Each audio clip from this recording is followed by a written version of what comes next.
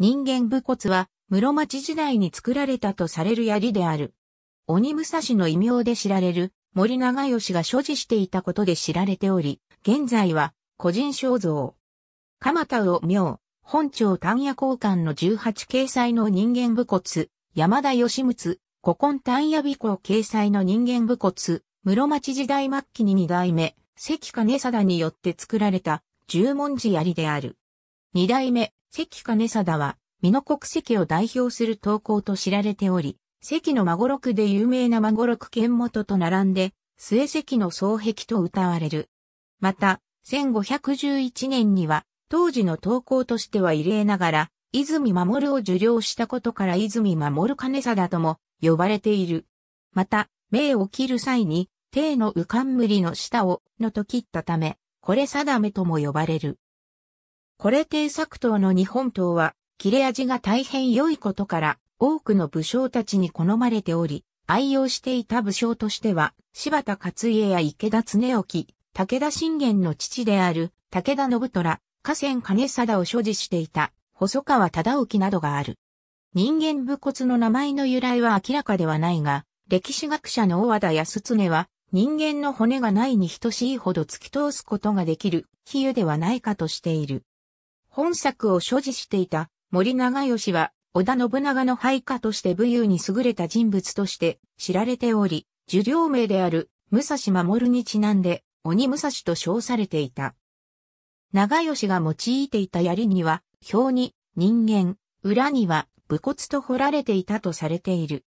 1574年7月に行われた伊勢国での長島一行一揆では、本作を用いて若干17歳にもかかわらず、子宮を27種も上げる軍港を残したとされている。この槍には、その後、長吉は1584年に勃発した小牧、長久手の戦いにて狙撃されて死去したことにより、家督を継いだ森忠政の手に渡った。後に忠政の系譜は、播磨赤穂藩主となったため玄関に本作が掲げられるようになり、大名行列の際には本作が一番道具として用いられた。時代が下ると一番道具には、本作の写しを用いるようになり、本作は赤穂城へ保管されるようになった。明治維新以降も森家に伝来し、1940年に優秀館で開催された紀元2600年法宿名法日本等展覧会には、死尺、森春勢の所有名義にて本作が出展されている。元幅は3.6センチメートルであり、元重は0.9センチメートルある。切っ先は10文字であり、いずれも両場である。表に人間、裏には武骨と彫られていたとされている。室町時代に備前国にて活躍した長船清光の刀でも同じ名称のものがある。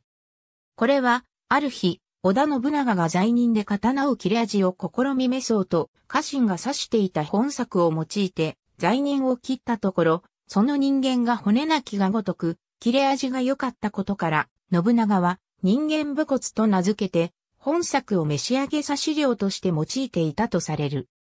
後には、信長の子孫にあたる出羽天道藩に伝来しており、幕末には、欧州森岡藩士である小松原神左衛門が拝見したという記録が残っている。室町時代末期に活躍していた石炭屋の投稿である県少々指定が作刀した脇差しに同名の刀がある。